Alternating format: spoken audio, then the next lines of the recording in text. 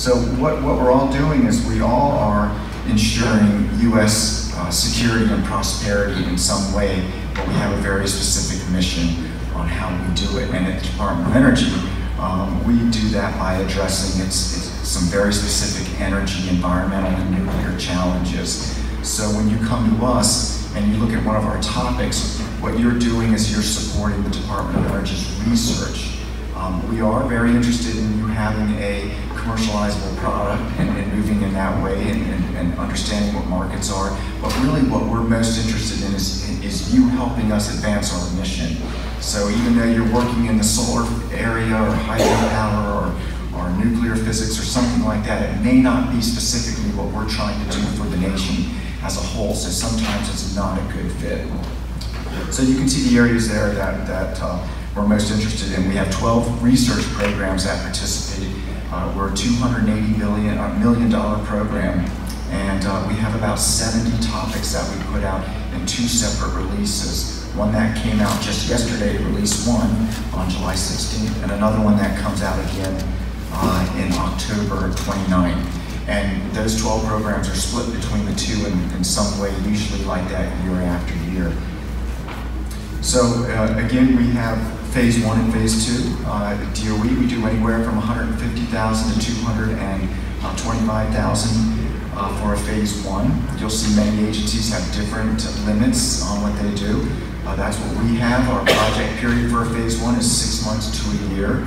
Uh, and uh, then you are eligible to move into phase two or to compete for a phase two award.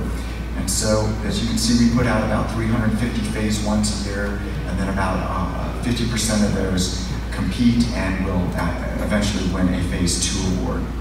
Something that we have that's uh, unique are sequential phase two, so you can be funded under that same topic for your same technology for up to five years at the Department of Energy.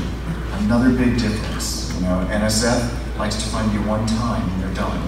And so there's you, you need to take those things into consideration if you think you're, uh, you have research that's going to take more than uh, one to three years to finish. The Department of Energy has opportunities to take it beyond uh, three, up to four and five.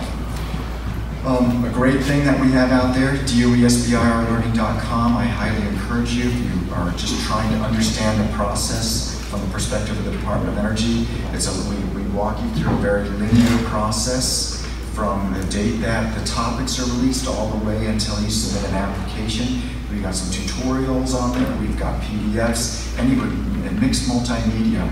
And uh, there's lots of ways people learn, and we've got several different um, types of media on there for you to take a look at. A lot of good information there. It talks about eligibility all the way down to your indirect rates and putting that together, finding uh, a PI and uh, what's a PI and, and, whatever you're, you're interested in. It's, you're going to find it at DOESBIRlearning.com. Um, you have any questions, you can reach out to uh, me anytime you want. Uh, I don't have my, the, the 5707 numbers are uh, our main number. That goes into a group of people. They can answer any questions you may have about putting together an application. Uh, you go into our topics document, you'll find all of our program managers are listed there. If you have any questions about those topics, feel free to reach out to them uh, via email. Um, so we're there. And Brittany is telling me to get off the stage. So next. My, oh, my name is Chris. My last name is O'Gwin. Uh, and I'll, got business cards. I'll put them out on the table there and some, some brochures. Okay, thanks.